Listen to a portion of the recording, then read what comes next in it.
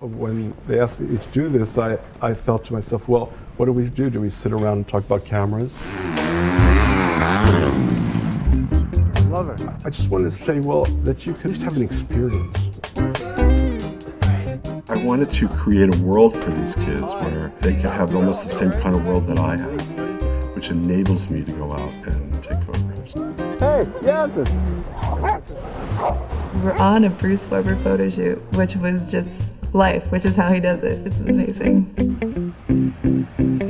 So we're going to just take you on this little journey. We're going to go up to a store I like a lot. Oh, wow, look at this picture. He's like, okay, this is your playground, and you can dress these people up and do what you want. and so we we're like, okay.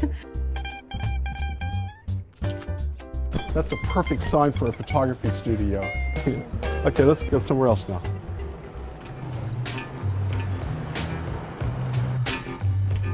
A lot of what we did was beyond just talking about how to get a good shot. It was talking about what are those people feeling in that moment. Terrified? Uh, of course, it's a little terrifying, you know, getting an assignment and knowing that he is expecting something great. For a while, there was some confusion there. Like, what am I gonna do? I don't really know. I just went back into my dog's state of mind, and my imagination was barking. I'm so proud of you. You put, you put yourself totally into it, and it's your own thing. You're doing it in such brave style. It's very brave.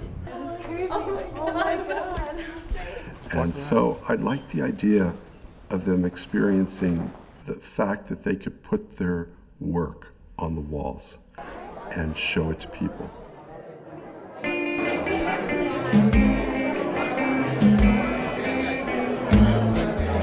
Been an amazing journey.